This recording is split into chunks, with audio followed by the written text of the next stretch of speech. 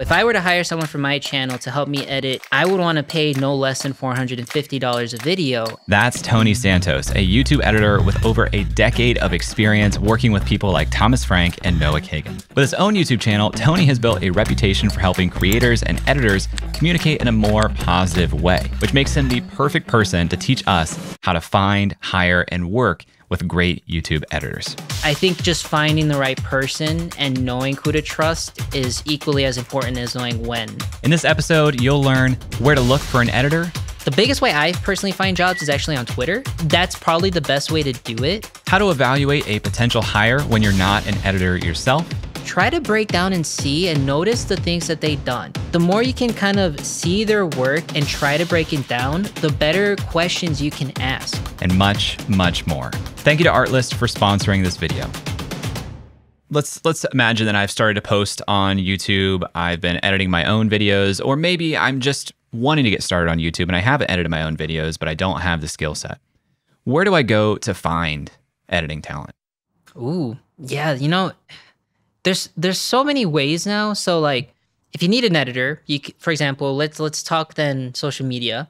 On Facebook, there's like a, a group called I Need an Editor, uh, which an editor can join, and you yourself can join as someone who's looking to hire. And you can find editors on there. You'll just post your job posting, you list all your requirements, and you'll either get a yes or no on the people. Outside of that, there's ytjobs.co. So that's a website that I've talked about on my own channel a bit, reviewing some job postings. But people who are also editors or other kind of creatives, like you can be like a script writer, a thumbnail designer, you can post your own skills on there and find work on that website as well. The biggest way I personally find jobs is actually on Twitter. So on Twitter or X, however you want to call it, I just make sure that my whole Twitter is based around my job, which is that I'm a video editor, motion graphics guy, and normally through there, just through word of mouth or even just in engaging in tweets is how I find work a lot. And I think that's probably the best way to do it is to find somebody who immediately has a link to their body of work, or they can at least kind of steer you to that. Because in that way, it's kind of easier to weed out who's more serious than not, which even then, that's hard to say. But I, I just, I know I've met some people who are kind of in it for the money and I'm just not that kind of person. So I kind of want someone who's more craft uh, engaged and like excited for the work rather than how much can I squeeze out of everyone I work for. So you didn't mention uh, Upwork or Fiverr, which mm. is something that people bring up a lot when looking to hire freelance help. Uh, so what's what's the deal there? Uh, honestly, it's only because I don't have any experience in it. I have never once used those websites, and I have known more people who use it that don't like it as opposed to do, which don't get me wrong, there's that website exists for a reason. I'm sure there's people that like it, but I don't want to speak on it since I don't have really experience on it. The folks that you've talked to, I'm assuming you, you mean editors who have used it who don't like it, or did you mean creators who have hired from it who don't like it? Uh, both. I, I I've met more editors who told me they don't like it, and I think it's because see this is where like my lack of experience comes in so i don't know how it works but i think it's because they feel they have gotten more people reach out to them for work, but it's it's more like gosh, I sound ignorant here when I'm about to say, but it just sounds like from their perspective, it's more people on there looking for a bargain rather than looking for really good talent. And I don't know if that's true or not, but if that is the case, then I myself don't want to be on there then because that's not what I'm there for either. So do you think that there's plenty of editing talent out there to go around and we just need to do a better job of looking elsewhere to hire or change what we're expecting in hiring? Yeah, it's it's a mixture cuz like now that I know so many more editors, I know the reason a lot of people don't like dedicate to one creator, let's say. Sometimes it's not even the fact that they don't like the work. It's really sometimes just comes down to even money.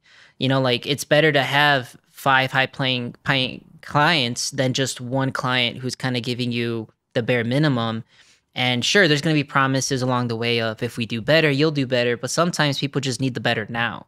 Because when it comes to a lot of it, whenever I would hear someone say, like, oh, I really need a good editor for my channel, who do you recommend or whatever, I usually find it as they're just looking for someone that can kind of be there, kind of like a right hand person. And it's not even usually like a skill thing. I usually think that it just comes down to a compatibility issue because um, some people hire editors nowadays, and there's a lot of us out there, but they'll hire them, and the the editor they're specifically hiring is someone who is strictly on like a freelance basis, meaning you're not the priority, you're one of let's say many clients. And that's why I like to strive for when you hire someone, you should get someone that is dedicated to your team and your mission. Because uh, in that way, you have them full time. But then also, there's going to be that time period of adjustment. You know, like I've been editing for 15 years, so I have 15 years of knowledge that has nothing to do with you and your channel. And if I come in to help your channel, I need to now learn your processes, the way you like things. And that's all something that happens over time. Uh, so I, I think technical skills can always be learned. It's more just you got to just make sure that the person you're looking to hire is in it for the long term and it's a mutual beneficial situation for the editor and the creator as well. So when do you think I should be considering hiring an editor? Like when am I ready to hire somebody? Because it sounds like part of the issue is a lot of times people start hiring too early in terms of what they can afford or they have the wrong expectations, perhaps. So, at what point do you think somebody should make this a priority on their team? Well, even it's funny you ask because even now, let's say for my channel, like things are slowly picking up and I have a lot of work I have to do. Realistically, given my workload, I would love help. And there's a certain amount of money that I would want to pay someone for said help.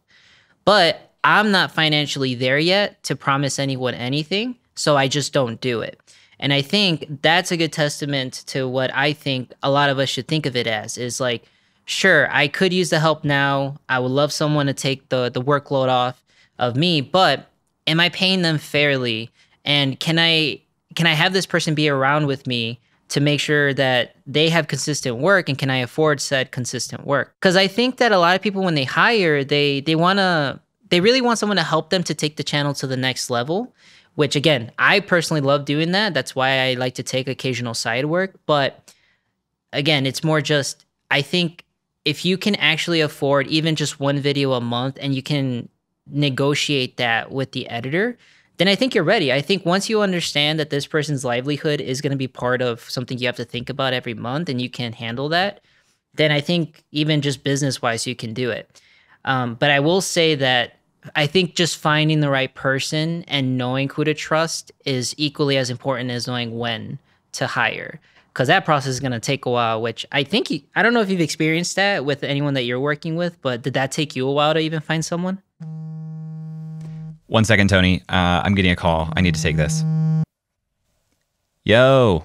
Yo, what's up, man? I am editing next week's intro and I don't know. It just feels like it's missing something. Like what? It just doesn't feel complete. Oh, just use Artlist, the sponsor of today's video. Artlist is your all in one platform for creative assets that will take your videos to the next level. Need to find the perfect song to set the tone of your video? How about sound effects to immerse your audience at the beach? Hiking through the rainforest? exploring a city? Use Artlist. We use Artlist for all of our videos and love it. It completely leveled up our podcast intros, which was a huge catalyst for growth on this channel. And with Artlist Max, we can get music, sound effects, footage, and motion graphics templates for one price without having to worry about any of the licensing. Sign up with our link in the description and you will get two free months on any annual subscription. Thank you to Artlist for supporting the channel. Yeah, I mean, our our producer and editor is Connor, and I knew Connor uh, at least a little bit for a couple of years before we even started working together. He actually pitched me on coming to work with the channel, and you know now the last two years that we've been working together, certainly have gotten to know each other a lot better, and uh, found some of the strengths that he has that I wasn't even aware of, or different ways that he can flex into the role and and do more. So we'll we'll for sure talk about finding the right person here because a lot of times this is this is the, where I'm making this video in the first place. People ask me, "How do I find a good editor? How did you find Connor?" And my answer is like, "Unfortunately, Connor found me. Fortunately for me, unfortunately for you, the person I'm giving advice to." So I'm I'm trying to find more consistent uh, ways to recommend this, but something you just something you touched on that I think could be really insightful because you are an editor. You have been hired at different levels. You know, I know when you first started, you were hired at $30 per video, and then you were doing $350 per video with Tom when you started. And now you're into thousands of dollars per month on retainer. So as you're thinking about, it would be nice to hire somebody to help me with my channel, but I'm not sure I can pay them what I would want to yet. What does that look like? How are you thinking about what you would want to pay somebody, uh, given that you have been in that seat before? Yeah, actually, for me, it's I just got to make sure that I am not doing something that feels hypocritical. Like, I like again, I've been doing this for so long and I started and gotten payments in so many ranges. Like I've been paid $10 a video, $30 a video. A guy tried to negotiate with me $80 a week and it was 5 videos a week, which I almost took, but that's just cuz I didn't know any better. And the thing is like ever since I met Thomas, that was my real eye opener as to what is possible given the right mindset and then also just working with the right person that understands you as well. So, for example, if I were to hire someone from my channel to help me edit even like my own interviews that I'm doing, I would want to pay no less than $450 a video. And the only reason I stick to that number is because I want to do slightly better than what Tom was able to do for me when we first started. And I also understand the idea of progressively scaling from there. So I would talk with the editor like, look, I can maybe only afford one video a month but as long as you're there with me, you collaborate with me, and like I like everyone says, as the channel does better, we will do better together. But again, I also understand that I am not then going to be their full time uh, employee or uh, uh, what do you call it, like creator. So I cannot be upset if they take other side work. You know, like the at the end of the day, I understand them, and I hope that they understand me, where we can collaborate and know like you have all the time in the world to do all your other projects um, but for me, it's 450 and we'll take things from there. That's a helpful benchmark. I want to see if there are any other embedded assumptions into that figure. Mm-hmm. When you think about $450 per video, are you thinking about the length of the videos that you want to create or how in depth those videos are? Because videos come in all shapes and sizes, right? $450 for this right. video over here probably feels a lot different than $450 for this video over here. So, how do you think about the type of work that you're doing? Uh, and I want to talk about geography here in a second as well. But let, let's let's see what else is baked into that figure. Well, it's funny because even saying that, I have a lot of conflicting issues in my head because now that I've gotten to meet so many editors, like I, I finally know people now that we even work in Hollywood, and I, I'm happy to say I have friends there. So the more that we discuss even how they work, their day rates, um, there's also a group called the Blue Collar Post Collective, and in in that group, they do a wage survey every year where anyone in the production sphere can go ahead and, and put how much money they make that year, what their job title is, how long they've been doing it. And you can use that as a method to compare your salary based to other people at certain jobs. And the more I got to understand that part, the more I understand both how hard it could be to get something sustainable on YouTube because we don't all have all this big money like companies do to pay an editor. But at the same time, I have to understand like I can't pay an editor pennies because uh, if I do, then I feel like I'm being hypocritical to to basically my my own people, so to speak. So like yeah, one video that costs 450 for me would be like my interviews that I do. And that's because they take normally 20 to 30 hours to make. So I like to think of it like okay, let's say for 450 i were to hon- uh, hire let's say connor like you said. But connor was like hey i charge $50 a, an hour. Then i would say okay i have 450 i can spare. You do as much as you can with that 450 um, and whatever it is it ends up being that and I'll, I'll finish it up. Like i think it's because i'm so in the weeds now and i understand so much more. It makes it hard for me to find the right number but i'm happy with 450 as i don't think that is the worst that i feel is out there yeah, this is this is good nuance because what you've kind of just touched on there is this uh, collaboration of finding out what is possible for editing this one piece of content. Because what you've what you've said there is that you're you're kind of assuming that the editor themselves has a value on their time. So mm-hmm. you're saying this is what I value the output. So if I'm coming to you because I think your work quality is good, but this is my budget for the output of one video, and you're valuing your time at $50 per hour, that would mean that this output is going to come out of nine hours of your time.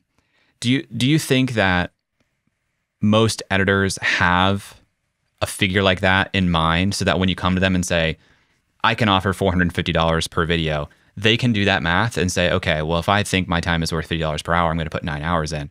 Or do you think they're thinking just about how, how can I do my best work for $450?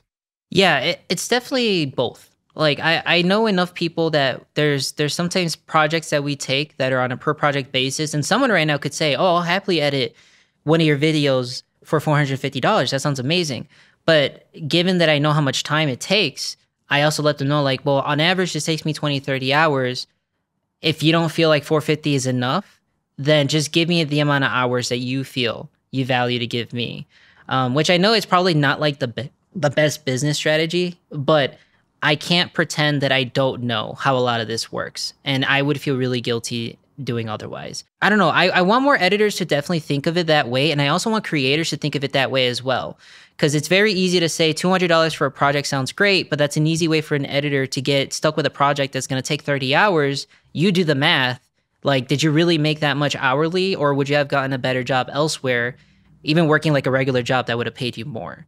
Um, and I definitely don't want editors to feel like they always have to take jobs like that, especially coming from me. I, I, I don't feel good doing that. Yeah, I feel like the conflict can come from misaligned expectations. Because if if I'm the creator and I'm saying I'm willing to budget $450 per video or whatever the number is, mm-hmm. I also probably have some set of assumptions in my mind as to what that final work product should look like. And if I just go to the editor and they say, "Sure, I'll do a I'll do an edit for you for $450." And they have in their mind, here's how many hours that I'm willing to put into this at that price. There's a good chance there's a disconnect yeah. between the final work product of what the creator might have been mm-hmm. expecting and what could be accomplished in those hours. So if I'm hiring an editor and having these conversations, how do I have those conversations? How do I make sure that we're on the same page and we're aligned with not just the price, but what we expect the work product to be? Should that be on the creator to start that conversation or will the editor push that forward?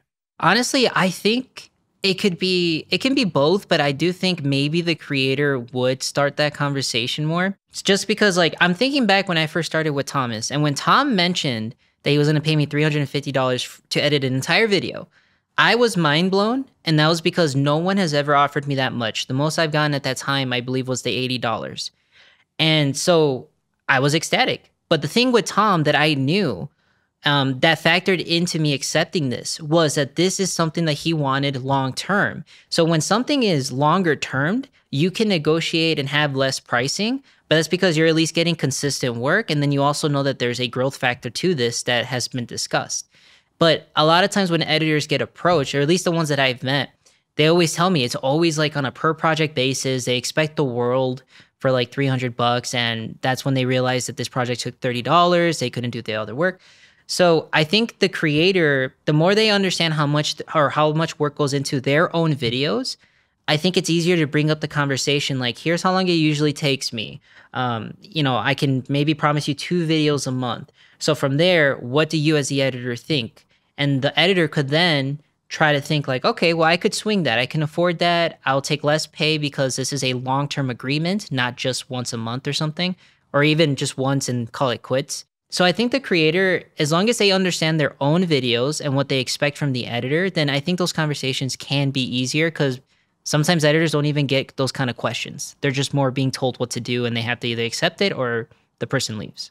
Do you think it's more common for editors to hear project based pricing as the offer or hourly or retainer? What do you think? What do you think is the most common, and what do you think is optimal, all things considered? I think in the online space, per project is definitely the most common because it's even what I usually would agree to as well. Even though technically, if I know if I broke th- things down hourly, sometimes it wouldn't be as worth it. But the reason I do per project is because I try to remember like, as long as this is a long term thing, I will always accept less money uh, for consistency rather than trying to maximize my dollars per hour. But I think the I think the reason it's also easier on the online space to do per project is because they at least know that for this whole video, it could take you five hours to make. It could take you X, X amount of more hours to make. like no matter what, you at least know you're getting that money that I hope was in writing and was promised to you. Um, so then you can just start to play with that number and you start realizing as an editor, like, okay, these take me like 10 hours to make. Uh, maybe in the future we can renegotiate a higher price, or after these 10 hours, I can squeeze in another client to make more money. To sum all that up, too, when it comes to even something like hourly, I know a lot more traditional people who would tell me that editors should be charging hourly. The trickiest part about that that I've experienced is what you said already, which is the expectation that people have of you. And let's say you hired me and you're like, all right, I want this video done. But you never told me how long it would normally take you. And let's say it took me like 15 hours to edit the video in completion. But you tell me, hey, that should have taken you 10.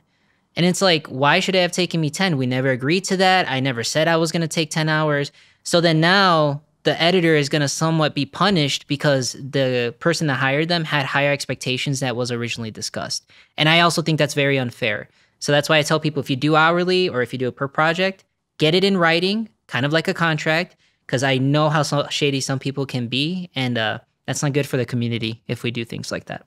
I've freelanced a little bit too. It wasn't in video editing, it was in things like marketing and website building. And I've realized a lot of times freelancers don't have business experience. And so a lot of these conversations happen after the fact because they haven't experienced a conversation before and because they don't know what might happen if ex- expectations are not aligned. And it can start relationships off on a difficult foot. So, you know, I, I'm trying to educate the creators here and how they can set both parties up for more success. I've also realized as a freelancer, sometimes it's dangerous to depend on one major client for your income because if this is work for hire and this is truly freelance work, there's not a lot of security there. So, do you think that editors in a freelance capacity, do you think they prefer working with multiple clients for security, or do you think most editors actually prefer working with a smaller number of clients, maybe even just one consistent client? I would say, depending on the editor's work life balance and what they strive for, I, I, would say it's probably best to work with less people who pay more uh, as opposed to a lot more clients who pay somewhat okay. Um, and the only reason for that is I know the mental health capacity that comes with that. And juggling so many clients can definitely be a pain. Like I even struggle just juggling two sometimes. And the reason for that is because the amount of time that I put into the projects that I work on, it's just not a good situation for me. So yeah, I would say if, if editors are out there listening too, or even like for the creators out there, like if you really want someone, uh, we're probably more inclined to stick with one person longer term as long as you pay more. Uh, just because then our needs are covered, we understand there's growth, we understand the, the potential of what can come from this, and you know that value is a lot more than ten people who are only giving me a hundred to make a thousand, as opposed to Thomas can give me a thousand as long as I dedicate my time to him. And I would definitely do that.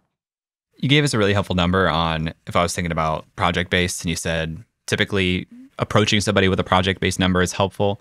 If if I'm interviewing editors and they're giving me hourly rates because that's what they're used to, what range do you typically see as common uh, or appropriate in an hourly basis?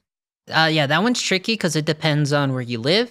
Uh, it can be statewide, country, depending on the country. If you're a new editor, you can just Google like what's a starting rate for an editor, and let's say it's like twenty one dollars. Uh, then use that as your own metric. Like there's no right or wrong answer. So then you would just start at twenty one. But then if you feel you're more experienced and you can back up your experience and you can show the clients you work with, then just continue raising the bar. There, you know, no one's stopping you. Like not to you know, make anyone feel bad. I, this opened my eyes, but I learned there's like this one guy in Hollywood who his day rate, which is how much he makes a day, is two grand. And I was like, holy cow, I never knew that number was possible. And he probably never thought that either until his clients valued his time that much that they pay him now for that. So it really will just depend on how much you value your time, where do you think your skill is, and can you back up the claim? Because uh, nowadays, if people want to work with me, like I'll be honest, my my time is now valued at hundred dollars an hour, um, and if someone wants to pay me less than that, I have enough experience to know that they they are then not giving me enough value money wise that I should just put my time into Tom because we have enough going on that is more than worth it. Um, so I'll just stick with Tom as opposed to taking, you know, the lesser paid job. But even then, remember, I, I keep things very um, dependent on what the project is and who approaches me for work. I would love to share that right now on my channel. I am focused more on creating content that really speaks more to both editors and creators, especially the new series I've started where I'm talking with friends that I have both in the online space as well as in Hollywood and traditional media. For example, one of my interviews was with my friend Andy Young, who works at Warner Brothers, and we talk about stuff like our our pay, how he went from YouTube to Warner Brothers, um, the kind of questions that like you should be asking when it comes to your pay, um, and he shares so much more insights that I think are so valuable that only you would learn if you were doing uh, the kind of work that we do. Okay, so let's say that I, I take your advice and I go on social media and I find someone in the editing community, and now I'm starting to see, okay, well, Tony's talking to Connor and Connor's talking to this person. So now I, I can like see the the growing network of editors in this social network. And I want to reach out to one of them and say, hey, do you have any availability? how should I navigate that conversation? One, what should I be looking for? How do I know that this person might be a good fit for me? Oh, yeah. Um, well, I would suggest uh, always keep things professional, and that goes for anybody. Like, I, I personally don't like it when people message me saying "yo," because I'm like, we're not. No offense, but like, we're not friends. So I'd rather you just approach me. Hey, bro. Exactly. I think personally, the best way that I like to get messaged is, "Who are you?" um, what are you messaging me for? Uh, give me some links to the bodies of work that you've worked on and are looking for me to work on as well. Any inspirations? So if you're like, oh yeah, I'm making productivity and lifestyle, my biggest inspiration is Matt D'Avella, that gives me so much context immediately as to what this person's looking for. And then lastly, please just put the amount of money that you're considering paying me because that can always be negotiated, but also I, I just like to be realistic and like I don't want to get so excited for a project until they say, well, I can only afford fifty dollars a video. And I'm like, well, if I'd known that prior, I could have easily told you, I'm sorry, I can't take that. Um, so don't be afraid to throw out numbers either, but just keep it as a range. Um, you know, just so the person, if they reply to you, you know already that they kind of already said yes in a way to a lot of what you're stating. If I if I see somebody's public portfolio, how should I, as the creator, look at that and consider it. You know, am I looking for, okay, this is exactly the style that I'm going for, so I know I'm good. But if I don't see exactly my style, then it's not a fit. Is that is that true? Or is there some other signal I can be looking for to see that this might work for my channel? I think something that I mean, it's hard to really know how somebody completes their work. But what I normally would do then um, whenever I meet someone and I want to see their skill set myself, let's say someone goes to Thomas Frank's channel, they look at his video that's been edited, right? So when you watch the video of someone you're you're gonna potentially reach out to, as you're watching the video, try to break down and see and notice the things that they've done. So you'll notice like, okay, so there was music, there was B-roll, oh, there was animations. Did they create those animations themselves or was that templatized? Um, the music choices are great. Is that something that the editor is doing by himself or is he getting help from the creator? Um, th- those lower thirds are great. Again, were those templates or were those custom? The reason you want to start breaking down and asking these questions is because you'll also know as a as a creator I'm looking for someone that can work with templates, or I'm looking for someone that is a motion graphics designer, but then that's a whole skill set on its own. So the more you can kind of see their work and try to break it down, the better questions you can ask the the editor. Because then you'll realize, like, no offense to the editor, but you know, I don't have templates. I was hoping you can make them. Then you can gauge their skill set right there, and then even you would be like, you know what, maybe this this isn't a fit. And now you know you need a motion graphics designer as well, not just an editor you just mentioned that uh, motion graphics, totally different skill set. So if I'm looking to hire a video editor, I shouldn't expect that they can do animation or motion graphics. I w- I wouldn't say you shouldn't expect it because there's so much that you can do in video editing software. It's more just like like I I've actually been contacted before to give perspective here.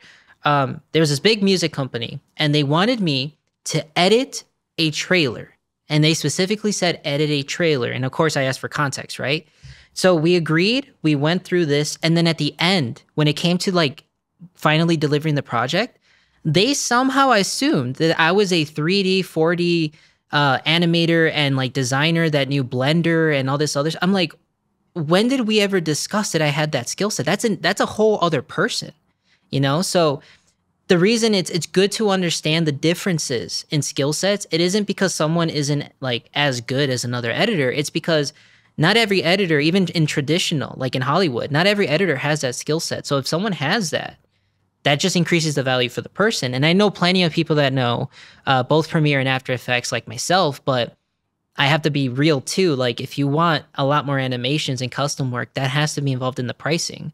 Because uh, I could just do that in Premiere, but you know, it, it is it is a separate uh, separate skill set. It, it is two people working together technically. So, so it sounds like it'd be useful for the creator when you reached out to somebody or made uh, a job posting about an editing role to have very specific examples of what you're trying to uh, achieve, whether it's videos from your own channel or videos from another channel, so that even if you are unaware of some of the elements that are inherent in these videos, at least an editor looking at this and considering this role can see these different elements, understand if they're a fit, maybe have that conversation to say, hey, there are aspects of this uh, video that um, are a, a different skill set? Are you looking for somebody who can also do motion graphics? Because that might not be me.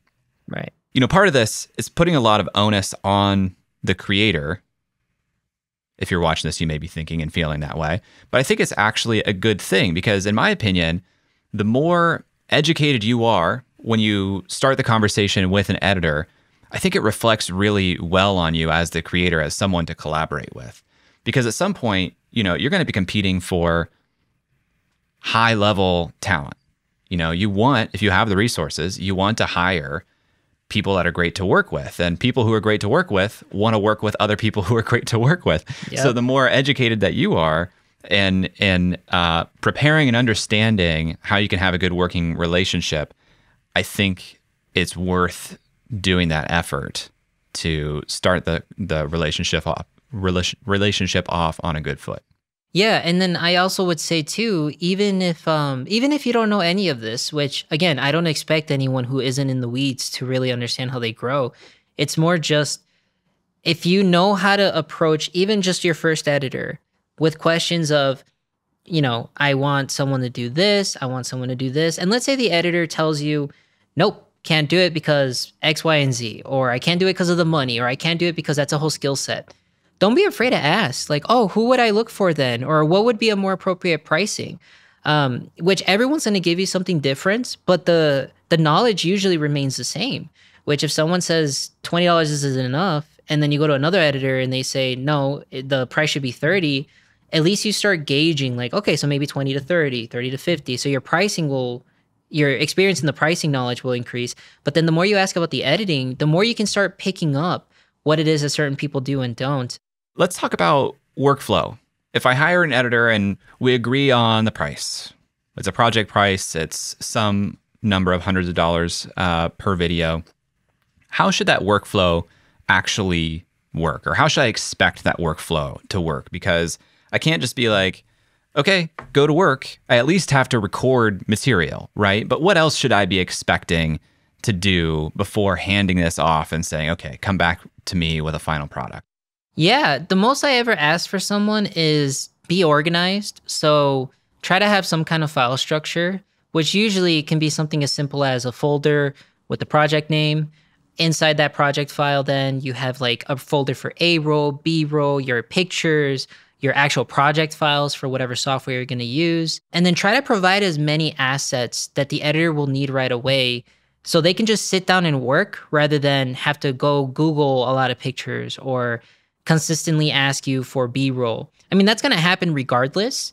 But I think the more you just have things prepared for the editor, uh, the quicker turnaround you can have. Uh, I know plenty of people who have given me a, just just the, like the raw recording, and they're like, "Okay, go." And then as I'm editing it, I'm like, "Oh man, I'm missing so much B-roll." Or you keep mentioning this one product, but I don't even know what that product is. I never heard of it, so I have to uh, just immediately start asking questions rather than being able to focus on the work itself. What expectations should I have in terms of timelines with my editor and revisions.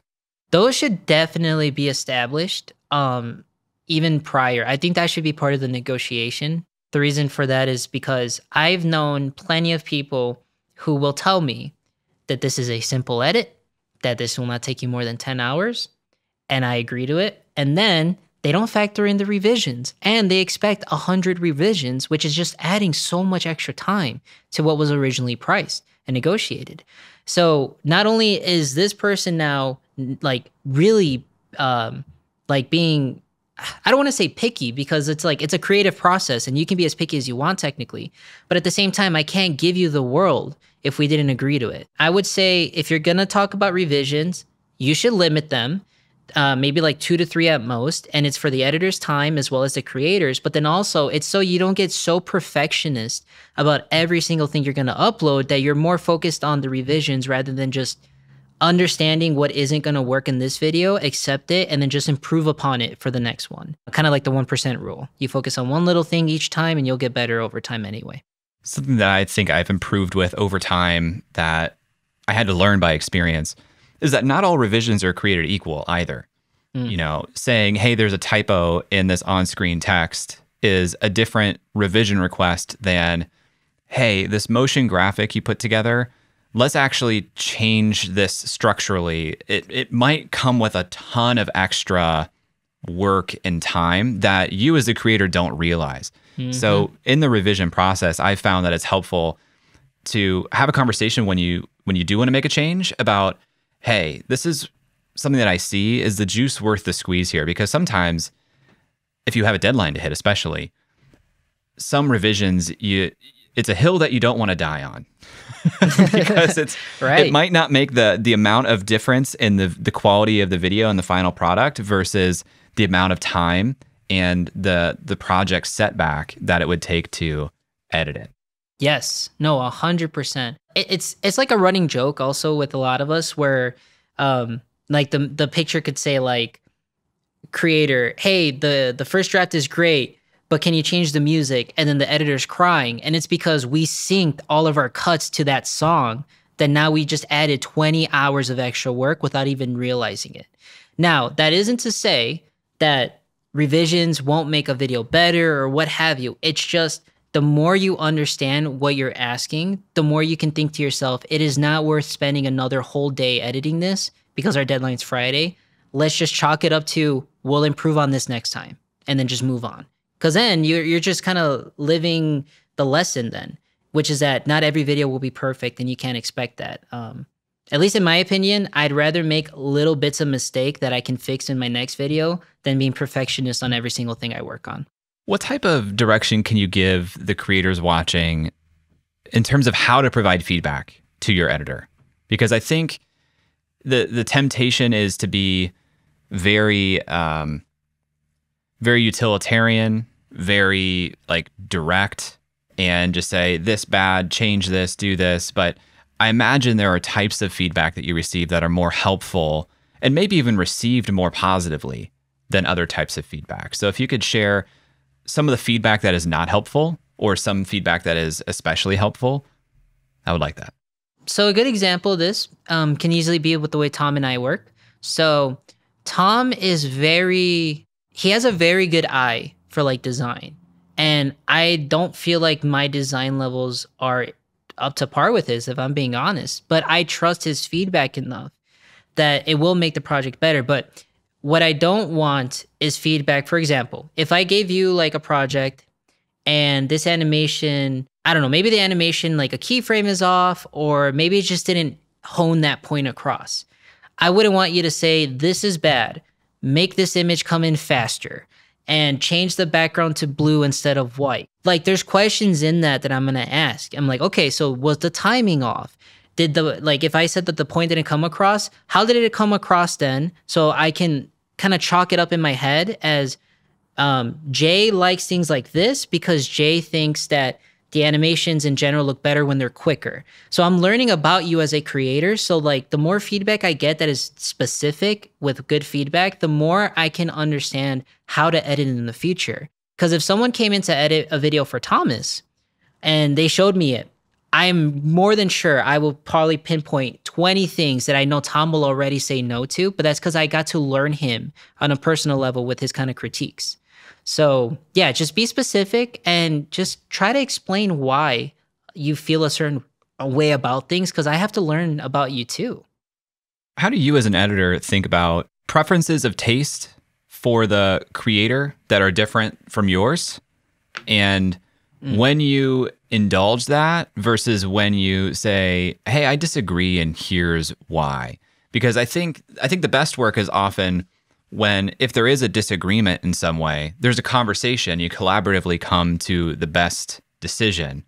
But I think in a lot of freelance relationships, it's like whatever the creator says goes and we make that whether we think that's the best decision or not. Well, at first, I will tell I would tell the editors that are listening, if there are, which is that don't take everything personally because at the end of the day, we're here for, you know, to help the client with the work. And I want to do a good job to whatever metric that that client would say I did a good job in. But at the same time, I want to build enough trust between the person I'm working with. Uh, again, I'll use Tom as an example where I don't feel like just letting them know, like, hey, changing this graph, I don't think is really going to make it better. And it's just going to waste time. I think we should focus on this instead. And you once you build that trust though, it like hopefully it signals to the creator or whoever you're working with that I understand what you're telling me, but I don't think that's really a problem. I think we should do this instead because I'm trying to think of the video project as a whole rather than just one little part. Because again, it goes back to what we said that like not every round of revisions is, is equal. And I think the more trust you can build, the easier it can be to just say, I will do it. I disagree. Here's why.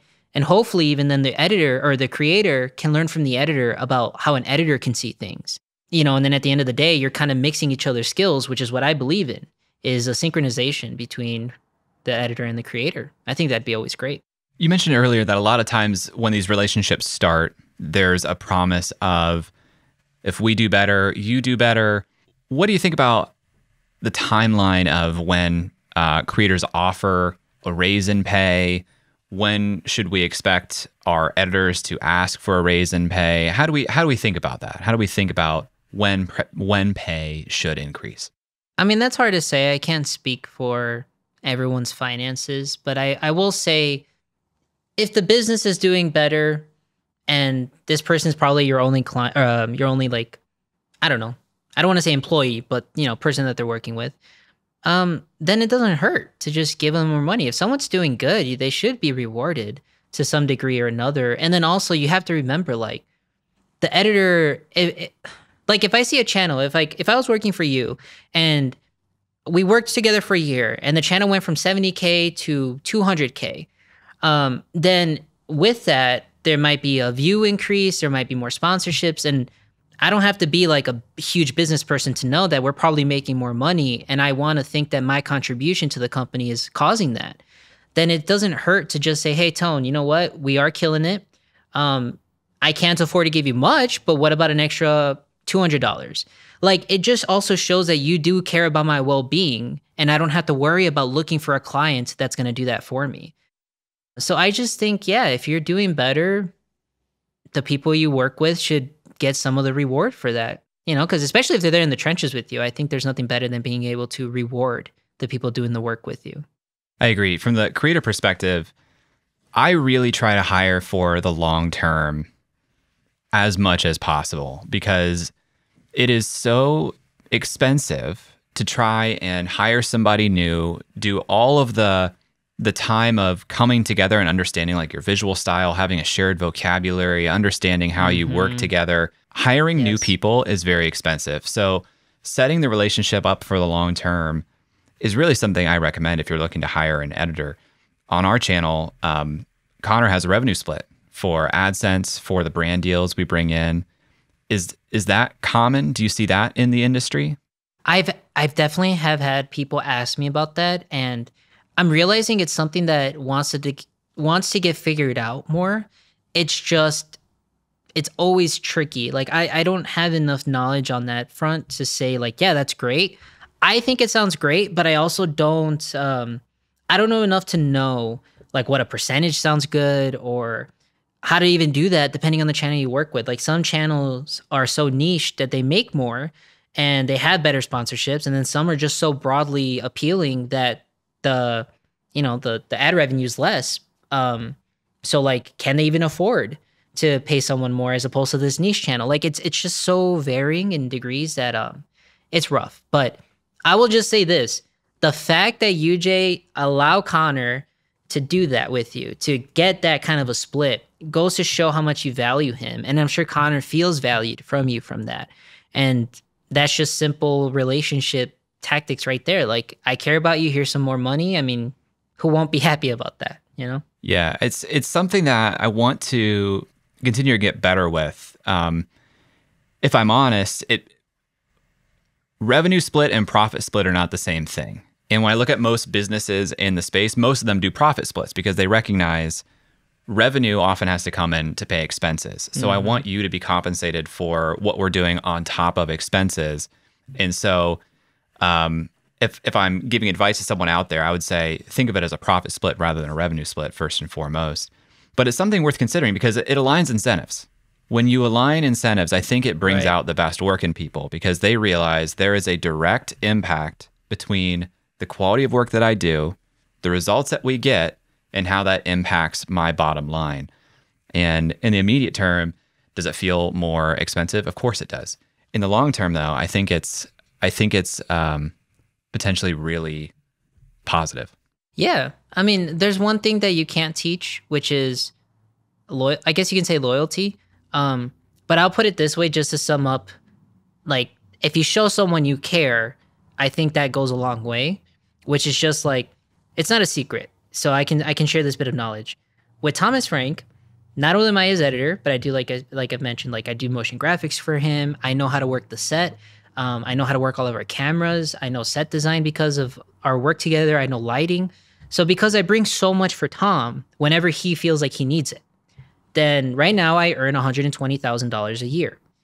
But that came through a progressional thing throughout six years of working together. And the last bit of it that I'll say about this is I have been offered uh, to get paid double. So someone offered me 200K to go work for their channel, but I saw what they were making. I saw kind of what my life could be like, and that sounded way worse than my life right now with Tom and every long term goal that we're looking to achieve. And you don't teach someone long term thinking like that, but because I got so understanding of how things work, I see so much better potential with Tom in earning less less right now, even though I know I make great money, uh, than just jumping ship to the next biggest paying client. And that's what I really want for both creators and editors to understand. Think of the long term and can we both establish that that's a future we want together? Um because then you'll get someone like me who's like this for tom and i don't think that's very common but i wish it was. I'm glad that you shared that that example about your working relationship with tom because at the end of the day if you're in this for the long term you want the best quality people. And a lot of times if you're getting started you can't afford the best quality people. It's it's about helping to develop talented aspiring, promising people into being great people. And then hopefully during that promise or that process, you've also developed a relationship that is exactly what you just said, where actually I value this relationship and the work that we're doing together now more than the pure cash play that I could have elsewhere that might have a higher near term cash value. So, you know, as you're thinking about hiring a good editor, I think it's important to look for promise and to treat people well so that eight years from now, you have your own Tony Santos on the team who uh, is like core to the company and knows your style, knows your language, and flexes into roles even beyond being an editor. Agreed. If someone's aspiring to do more, nurture it and see what can come from it. Never know. If you want more tactical advice on building out your YouTube dream team, watch this video I did with Ali Abdaal's right hand man, Angus Parker. It is without a doubt one of the most useful videos on this channel.